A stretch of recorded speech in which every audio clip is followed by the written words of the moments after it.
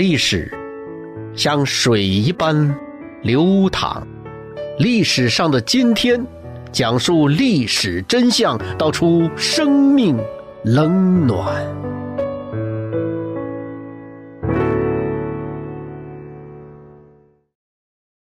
九月十六号，亲爱的朋友您好，我是江峰。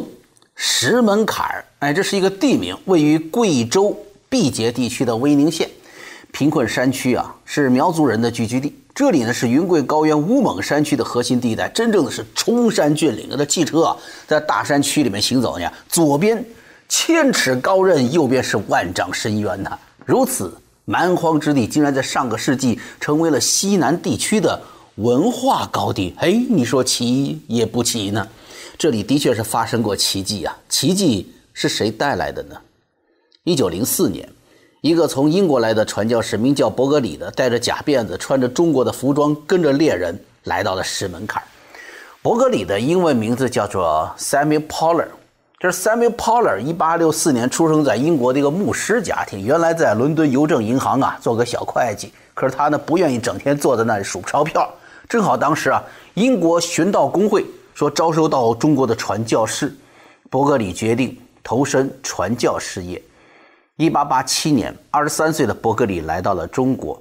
他呢，先是在云南昭通啊传教十七年。嘿嘿，这十七年只发展了不到二十个基督徒。你说这伯格里当过会计吧？就在那算，十七年，二十个人，一除，哎呦，一年发展一点一七个人。哎呀，这好像少点儿哈？怎么回事呢？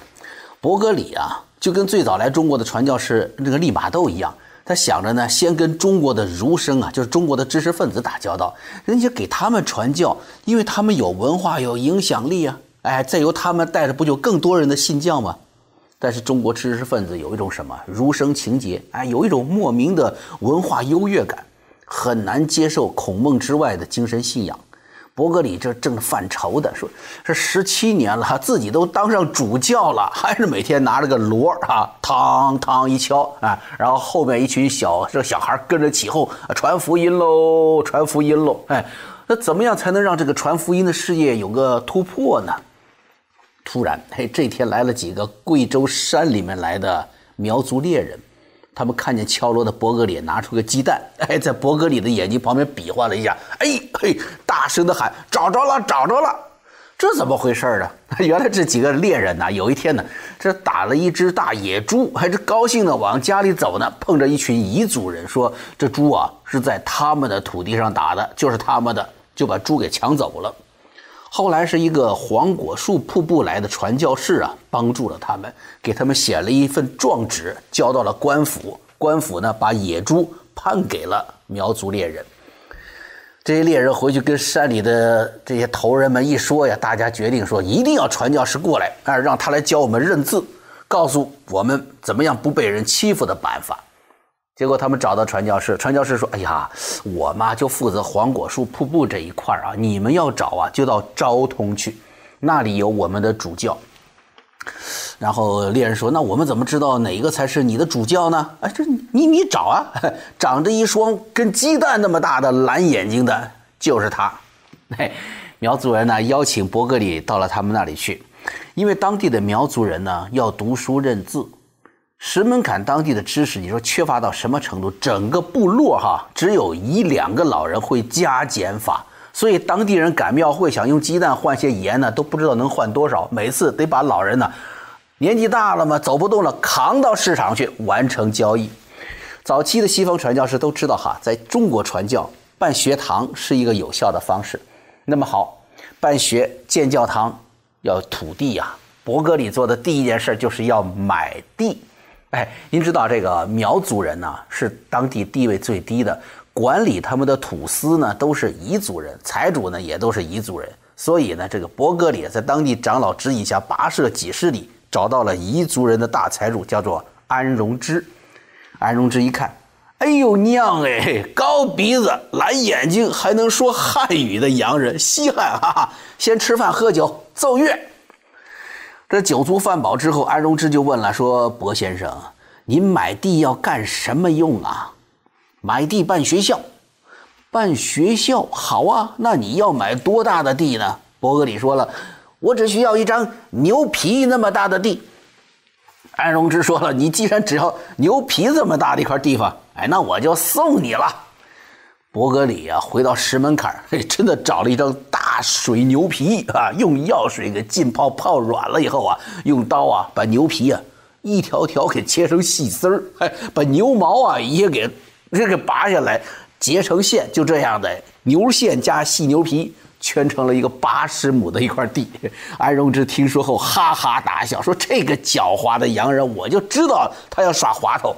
不过嘛，他要办学校啊，滑头就滑头吧，那块地送他了。”一九零五年啊，也就是在伯格里来到石门坎这第二年呢，石门坎学校建成了第一个教室。这教室呢，花了五英镑。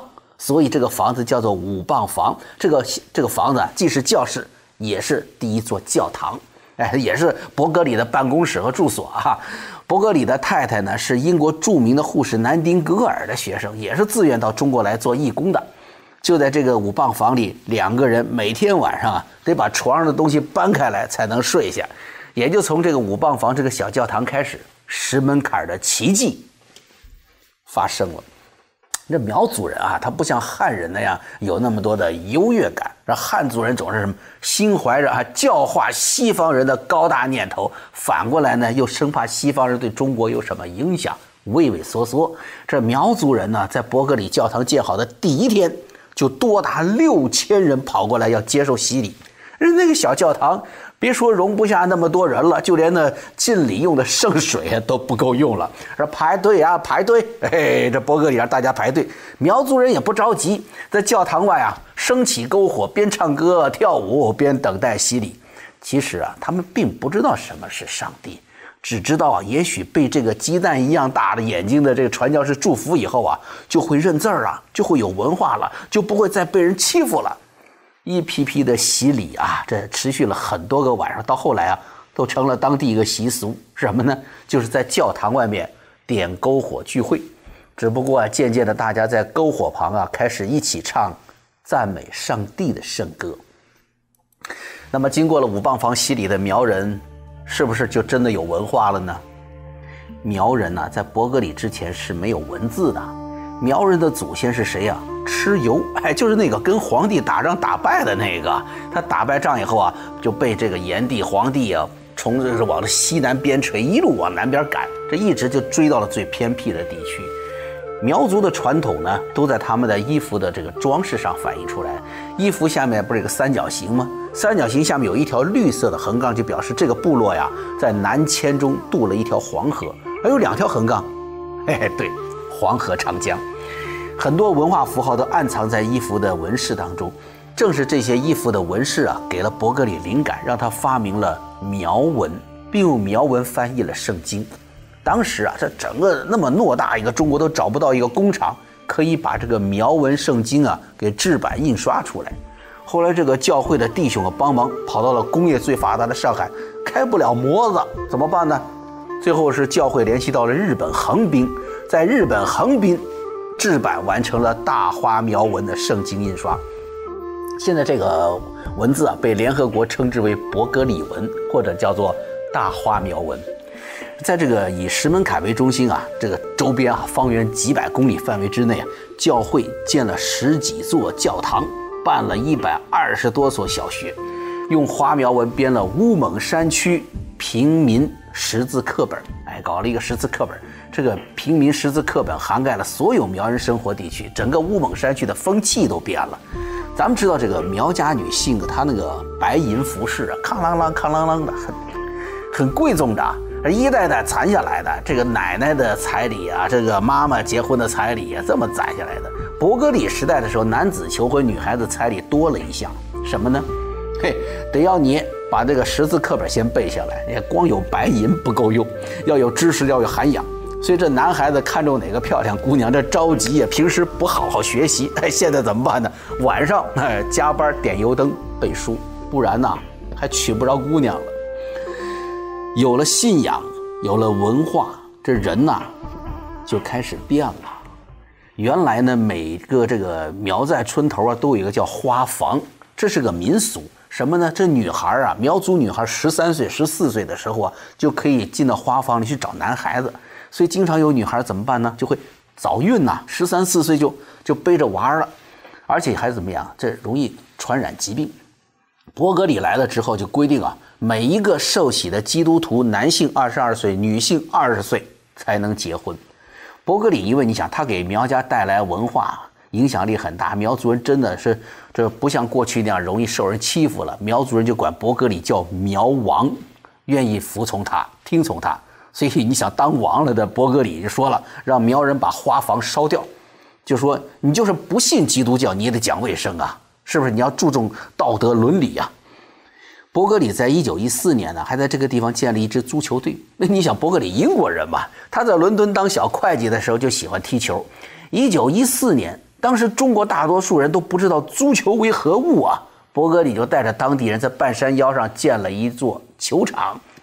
半山腰，你想这球儿一旦啪一脚踢飞踢高了，直接就奔山底下去了。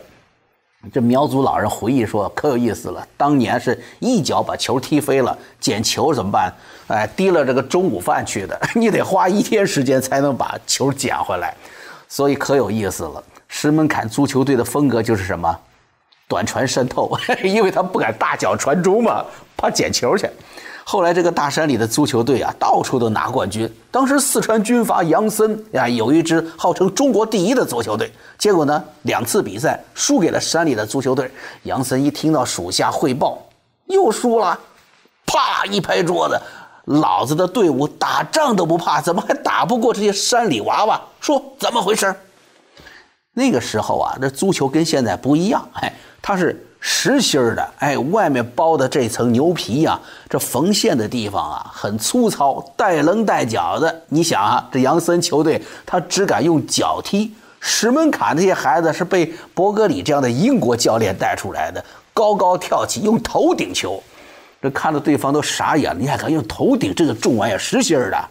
杨森听完汇报，回过味儿来了，说：“怪不得打不过他们呢，原来这石门坎的足球队是。”空军呐，后来杨森呐还带了一些苗族孩子出来，后来他们成了中国第一个国家队的队员。苗族人的习俗，这一辈子啊洗三次澡，哎，生死结婚，这生死两次还都别人给洗了呢。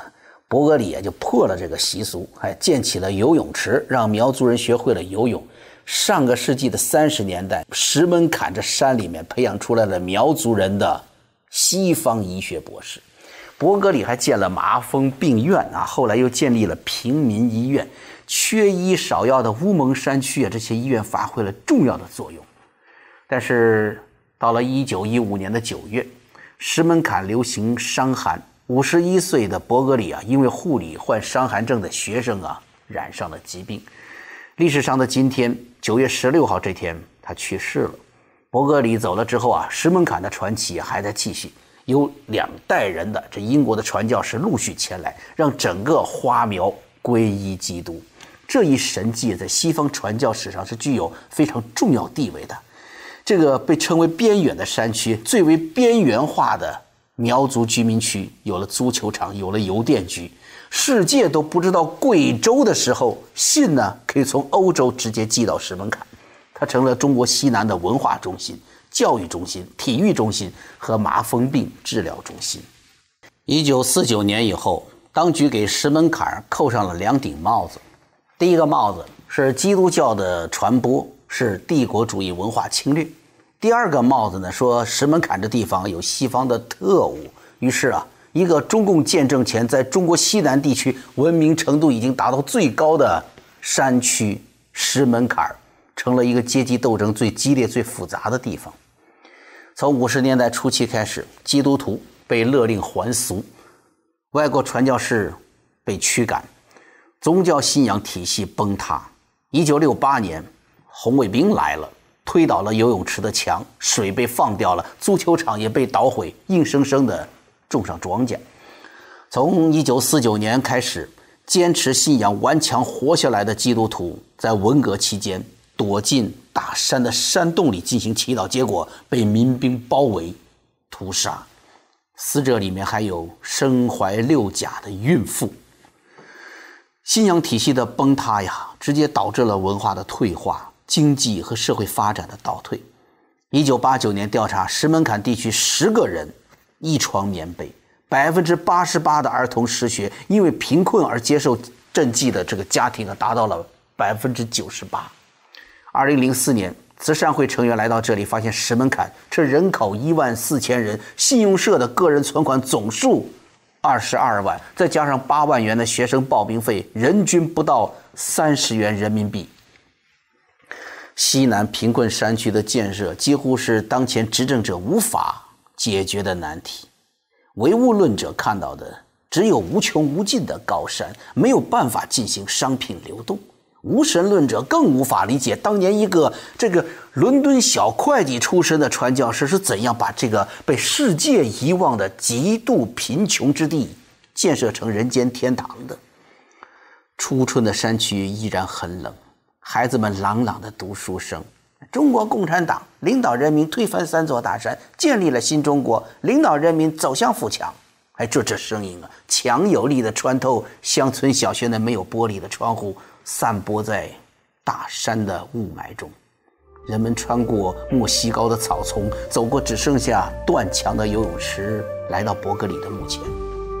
周围长满了杂草，只有不知道是谁留在那里一小把黄花，在墓碑前。这束野花在寒风中颤栗。历史上的今天，伯格里牛皮大的学校。贫困的石门槛呐，因为有了信仰，你曾那么富足。